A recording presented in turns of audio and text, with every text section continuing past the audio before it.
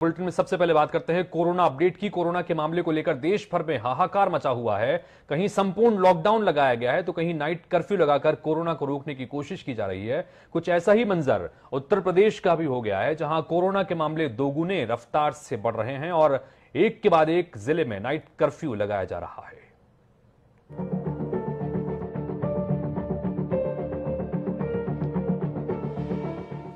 सुनसान सड़कें, घरों में कैद इंसान। देश भर में पिछले कुछ समय तक पसरा ये खौफनाक मंजर आप भूले तो नहीं है। भूलना भी नहीं चाहिए। कोरोना ने जिस तरह पिछले साल तांडव मचाया, वो सीख थी। वो सीख थी प्रकृति की मनुष्य को कि नियमों में नहीं रहे तो नियमों में बांधकर घरों में कैद कर दिए जाओगे। लेकिन एक बार फिर आदम सात अपनी मनमाना जिद पर है। और उसका नतीजा कोरोना ने सारे रिकॉर्ड तोड़ते हुए पूरे देश में तबाही मचा रखी है। महाराष्ट्र के बाद अगर किसी राज्य में कोरोना के मामले सबसे ज़्यादा हैं, तो वो है उत्तर प्रदेश। उत्तर प्रदेश में बीते 24 घंटे में कोरोना के 6000 से भी ज़्यादा मामले सामने आए हैं जिसको लेकर कई जिलों में नाइट कर्फ्यू का फरमान जारी कर दिया गया है। लखनऊ वाराणसी में रात 9 से सुबह 6 बजे तक नाइट कर्फ्यू प्रयागराज में रात 10 बजे से सुबह 8 बजे तक नाइट कर्फ्यू कानपुर में रात 9 बजे से सुबह 5 बजे तक नाइट कर्फ्यू नोएडा में 9 बजे से सुबह 6 बजे तक नाइट कर्फ्यू उत्तर प्रदेश की योगी सरकार ने नाइट कर्फ्यू लगाने की ज़िम्मेदारी ज़िले के कलेक्टरों के हाथ में सौंपी है। लेकिन सवाल ये कि क्या रात में कर्फ्यू लगा देने भर से कोरोना को लॉक किया जा सकता है? लोगों के मास्क न पहनने की लापरवाही की वजह से कोरोना अपना विकराल रूप दिखा रहा है। बाजारों में बिना मास्क के लोग सामान खरीदने पहुँच रहे हैं। एक दूसरे के काफ़ी पास खड़े होकर बात करते नज़र आते हैं। तमाम जगहों पर कोरोना से बचाव की सभी व्यवस्थाएँ ध्वस्त हैं। चप्पे चप्पे पर लोगों की लापरवाही देखी जा सकती है। इन तमाम तस्वीरों से इतना तो तय है कि अगर हम इंसानों ने मास्क अप नहीं किया तो लॉकडाउन ज़रूर होगा। Bureau report, Janta TV.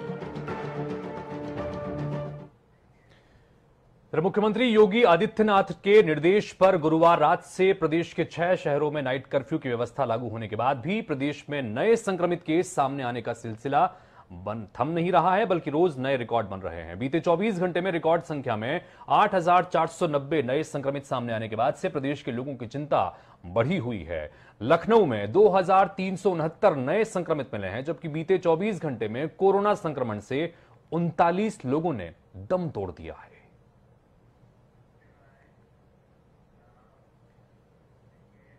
तो देश भर में कोरोना के बढ़ते मामलों के बीच उत्तर प्रदेश के स्वास्थ्य मंत्री जय प्रताप सिंह ने कहा कि लोगों की लापरवाही के चलते कोरोना के मामले बढ़ रहे हैं।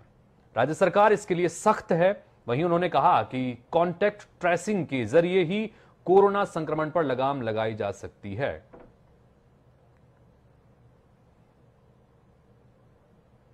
दोबारा जो केसेस हमारे पास आ रहे हैं, बहुत तेज़ी से बढ़ रहे हैं, ये सेकेंड वेव के अंतर्गत ये माना जा रहा है पूरे देश में कि ये इन्फेक्शन ज़्यादा होंगे। और इसमें इन्फेक्शन होने के रात में इसमें वायरल लोड थोड़ा हल्का कम रहता है। परंतु ये भी बात है कि जो बुज़ुर्ग लोगों के अंदर या जो उस तरह के कोमोबिड वाले व्यक्ति हैं जिनको ये लग जा रहा है तो थोड़ा उनके लिए खतरा है। तो इसके लिए जो थोड़ी बहुत लापरवाही हुई है पिछले कई महीनों से, जो बार बार प्रशासन की तरफ़ से, सरकार की तरफ़ से, केंद्र सरकार की तरफ़ से कि मास्क पहनना ज़रूरी, दो गज रखना ज़रूरी हैंड वॉशिंग ये सारी चीज़ें आम जनता लगभग भूल चुकी है, जिसके कारण से जो सेकेंड वेव आई है, ये बहुत तेज़ी से बढ़ रहा है। और इसके लिए हमने जितने भी हमारे डी नोटिफाई हो चुके थे हॉस्पिटल उनको फिर नोटिफाई कर दिया टेस्टिंग की कैपेसिटी बढ़ा दी बेड्स की व्यवस्था भी हम उतने लेवल तक ले जा रहे हैं जहाँ हमारा पहले भी था। और जहाँ जहाँ भी हमारे मेडिकल इंस्टीट्यूशन जहाँ हमारा एल की व्यवस्था है, उसमें जो बेड्स को हमने जो कम कर दिया था, उनको पुनः उन जगह पर वेंटिलेटर सहित आईसीयू सहित उन सबको हमने आगे बढ़ा दिया। और जनपदों में ये स्पष्ट सूचना दे दिया कि जितने भी केसेस आएँगे उनका कॉन्टैक्ट ट्रेसिंग 36 घंटा से 72 घंटा के अंदर एक एक व्यक्ति का 20 से 25 होना आवश्यक है तभी हम उस चेन को तोड़ पाएँगे और उसके साथ में जो भी और प्रबंधन है वो साथ साथ में हम लोग करते जा रहे हैं। आम आदमी पार्टी के नेता संजय सिंह ने यूपी में बढ़ते कोरोना केसेस को लेकर योगी सरकार पर तंज कसा और इस दौरान क्या कुछ उन्होंने कहा आपको सुनाते हैं। प्रदेश में कोरोना की महामारी ने भयावह रूप ले लिया है। और हालत ये हो गई आदित्यनाथ जी के राज में कि ना तो अस्पतालों में बेड मिल रहा है, ना शमशानों पर लाशें जलाने का इंतज़ाम है। ये दोनों दुखदायी तस्वीरें हैं। एक तरफ़ अस्पतालों में मरीज़ तड़प रहे हैं, दम तोड़ दे रहे हैं, उनका इलाज नहीं हो पा रहा है। और दूसरी तरफ़ जब उनका दुखी परिवार पीड़ित होकर अपने घर वाले की लाश लेके शमशान पहुँचता है तो वहाँ भी उसको लाइन लगा। आदित्यनाथ जी, आपको 325 सीटें दी है उत्तर प्रदेश की जनता ने। 325 इसका यह मतलब नहीं कि आप उत्तर प्रदेश की जनता को मरने के लिए छोड़ के चुनाव प्रचार में घूमें। कैसा संवेदनहीन मुख्यमंत्री वो हो सकता है? कैसा नाकारा और निर्दयी मुख्यमंत्री वो हो सकता है, जो अपने प्रदेश की जनता को मरने की हालत में छोड़कर अपने पार्टी के चुनाव प्रचार की मुख्तार अंसारी अवैध लाइसेंस शस्त्र के मामले में ज़िले के सीजेएम कोर्ट में न्यायाधीश विनोद शर्मा के समक्ष आज वीडियो कॉन्फ्रेंसिंग के माध्यम से पेश हुआ। और इस दौरान डॉन मुख्तार ने सीजेएम से गुहार लगाई कि मेरे परिवार वालों से मिलने नहीं दिया जा रहा है, जिस पर सीजेएम कोर्ट ने मुख्तार अंसारी को जेल मैनुअल के मुताबिक उनके परिवार और अधिवक्ता से मिलने की सुविधा देने के आदेश दिए हैं। माफिया मुख्तार अंसारी की सोशल मीडिया पर एक तस्वीर इस बीच वायरल हो रही है, जिसमें मुख्तार को पंजाब के रोपड़ जेल से, उत्तर प्रदेश के बांदा जेल से ले जाते वक्त मुख्तार एंबुलेंस से नीचे उतरते हुए नज़र आ रहा है। इस तस्वीर को लेकर कई तरह के सवाल भी खड़े हो रहे हैं। दरअसल एक वीडियो है और सवाल यह है कि पंजाब कोर्ट में व्हील चेयर पर पहुँचा मुख्तार इस वीडियो में अपने पैरों पर थाने में पैदल जाते हुए नज़र आ रहा है। ये कानपुर के सट्टी थाने की बताई जा रही है।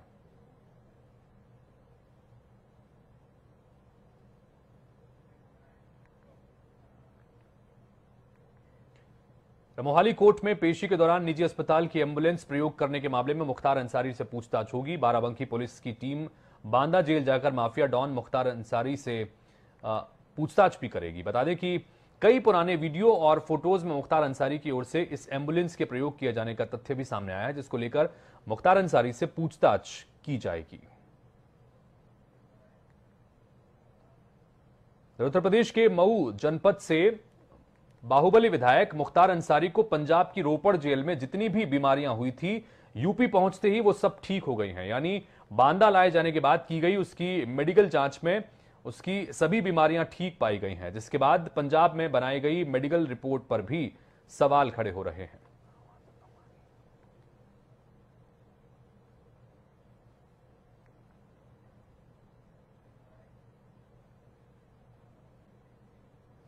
तो जौनपुर में आगामी 15 अप्रैल को होने वाले हैं त्रिस्तरीय पंचायत चुनाव और आगामी महीने में ही पड़ने वाले त्योहारों को देखते हुए पुलिस प्रशासन की ओर से ज़िले में पुलिस फोर्स को सक्रिय तो कर दिया गया है। बाहर से आई फोर्स के साथ आज अपर पुलिस अधीक्षक शहर के नेतृत्व में नगर के कई मार्गों पर फ्लैग मार्च भी किया गया, जिसकी जानकारी देते हुए अपर पुलिस अधीक्षक शहर डॉक्टर संजय कुमार ने बताया कि फ्लैग मार्च शहर के कई इलाकों के साथ ही अन्य तहसीलों में भी लगातार किया जा रहा है। इस दौरान पंचायत चुनाव को लेकर किसी भी तरह की गड़बड़ी करने का प्रयास किया जाएगा तो उसके खिलाफ सख्त कार्रवाई की जाएगी।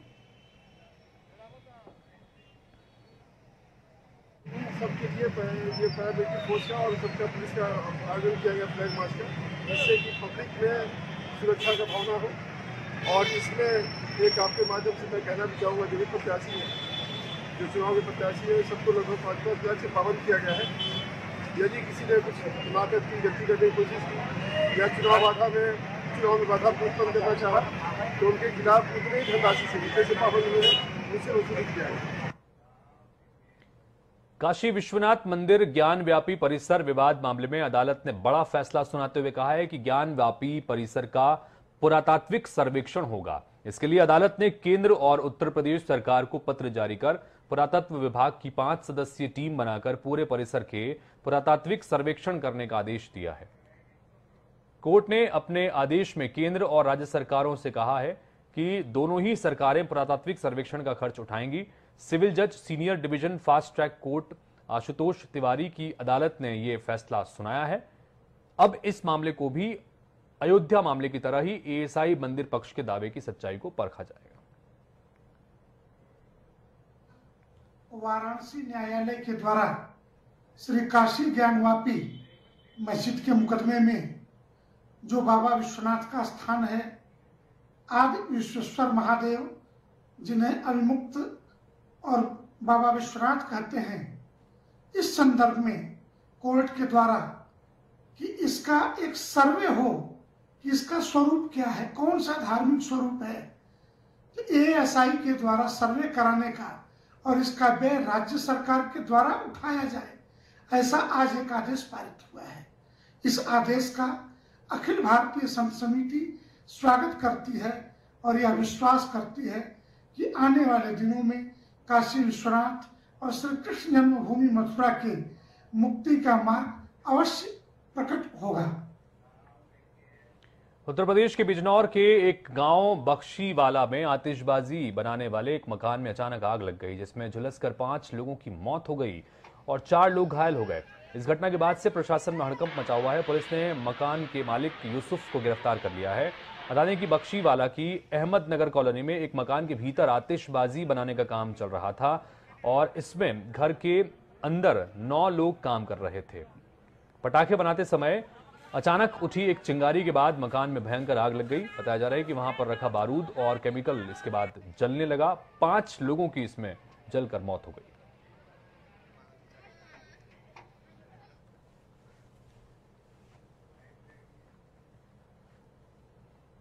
यहाँ केमिकल रखा हुआ है, जो देखने से प्रतीत होता है कुछ पटाखे की सामग्री थी।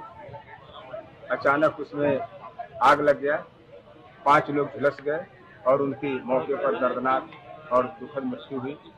जो ठेकेदार था, जो इसको संचालन करता था, यूसुफ इसकी गिरफ्तारी की जा चुकी है। डेड बॉडी को मौके से मोर्चरी के लिए पंचायत रामा के लिए भेज दिया गया है। आगरा जेल से इलाज के लिए दिल्ली रेफर किए गए कैदी धर्मेंद्र उर्फ़ धन्नो की मौत के मामले में जमकर बवाल हुआ है। बता दें कि पुलिस प्रशासन की तमाम कोशिशों के बाद भी धन्नो का दाह संस्कार नहीं होने दिया गया। मृतक के परिजनों का आरोप है कि धन्नो की पुलिस प्रताड़ना के चलते ही मौत हुई है तो वहीं मृतक की मौत को लेकर गाँव में काफ़ी आक्रोश है। मामले को बढ़ता देख एसएसपी मुनिराज ने जाँच का भरोसा दिलाया है।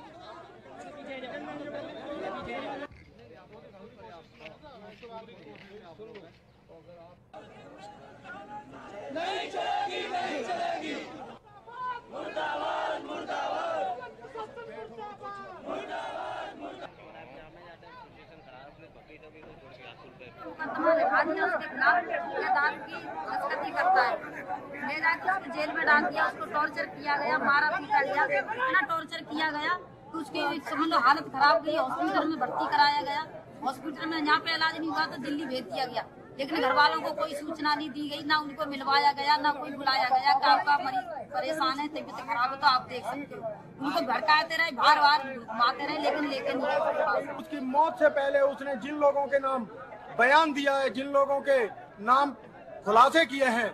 हमारी मांग है उन लोगों के खिलाफ कानूनी कार्रवाई होना चाहिए, तीन सौ का मुकदमा लिखा जाना चाहिए। पीड़ित परिवार को न्याय मिलना चाहिए, उनको आर्थिक सहायता मिलना चाहिए, उनके किसी भी व्यक्ति को, परिवार के व्यक्ति को सरकारी नौकरी मिलनी चाहिए, हम लोगों की ये मांग है। वीडियोग्राफी साथ पोस्टमार्टम हुआ है और आज उसके डेड जनपद आगरे में आई है। वहाँ पे आने के बाद वहाँ परिवारजन का कुछ आरोप है। इस घटनाक्रम को पूरा उनका जाँच करने के लिए है आरोप है उन लोग, कुछ लोग उसका कर रहे हमने जॉइंट इंक्वायरी की भी कमेटी गठित किया है। एडीएम और SP additional SP rank officer jointly जाँच करेंगे। जाँच को उस पर कोई कोई किसी की कहीं कोई लापरवाही हो, उसके खिलाफ कार्रवाई करेंगे। फिर बुलंदशहर के कांग्रेस पूर्व नगर अध्यक्ष कुंवर तौकीर ने कांग्रेस आलाकमान और कांग्रेस कार्यकर्ताओं को खून से माफीनामा लिखा है। दरअसल, कुछ दिनों पहले कुंवर तौकीर ने आलाकमान के अपशब्दों का इस्तेमाल किया था, आलाकमान के खिलाफ, और जिसके बाद उन्हें अध्यक्ष पद से निष्कासित भी कर दिया गया था। बता दें कि कुंवर तौकीर का सोशल मीडिया पर अभद्र भाषा का वीडियो तेज़ी से वायरल हुआ था, और उसके बाद उन्होंने इस तरह से एक माफीनामा लिखा है अपने ही खून से। भी काफ़ी पहले, जिसमें मैंने श्रीमती इंदिरा गांधी जी और गांधी परिवार के बारे में कुछ अपशब्द बोले हैं, जो कि एक मेरी नासमझी थी, मेरी नादानी थी। आज मैं उस पार्टी से जुड़ा हुआ हूँ, उस विचारधारा से जुड़ा हुआ हूँ और मुझे खुद इस चीज़ का बहुत अफसोस है। मैं आज के डेट में उस वीडियो को नहीं देख पाता दोबारा, कि जब मैं सोच, देखता हूँ कि मैंने अपने नादानी के दिनों में इतनी बड़ी गलती करी है तो मैंने आज अपने खून से माफ़ी मांगी है। तमाम भारतवासियों से, तमाम कांग्रेसियों से, तमाम फ्रंटलों के अध्यक्ष तो इसी के साथ फ़िलहाल इस बुलेटिन में इतना है, लेकिन खबरें और अपडेट्स का सिलसिला लगातार जारी रहेगा। नमस्कार।